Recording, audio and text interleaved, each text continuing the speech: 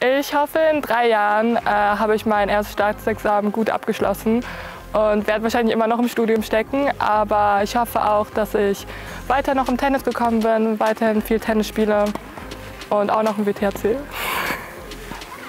Bisschen Schleim.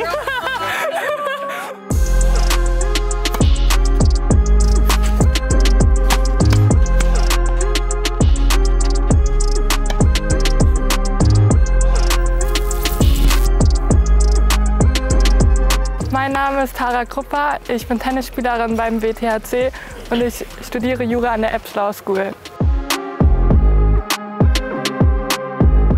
das Time-Management von meinem Studium und meinem Sport ist nicht immer ganz einfach, aber man muss einfach bereit sein, vor der Uni zu trainieren, nach der Uni zu trainieren, in der Mittagspause mal zum Training fahren. Äh, ist stressig, aber macht auch Spaß, also es lohnt sich.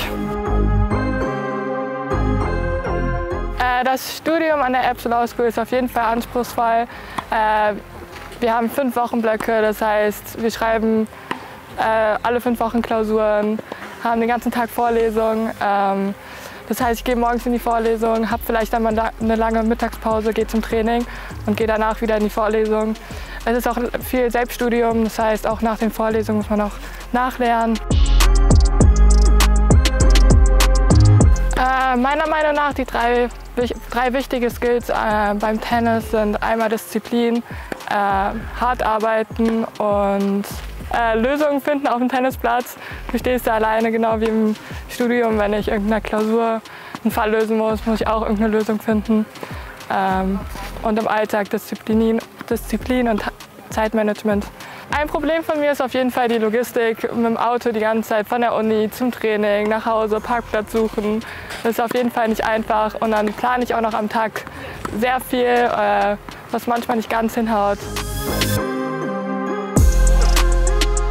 Ich hoffe, in drei Jahren äh, habe ich mein erstes Staatsexamen gut abgeschlossen und werde wahrscheinlich immer noch im Studium stecken. Aber ich hoffe auch, dass ich weiter noch im Tennis gekommen bin, weiterhin viel Tennis spiele und auch noch im WTHC. Äh, mein Tipp wäre, äh, bleib bei dem, was dir Spaß macht. Harte Arbeit lohnt sich und äh, aus Niederlagen lernt man immer was.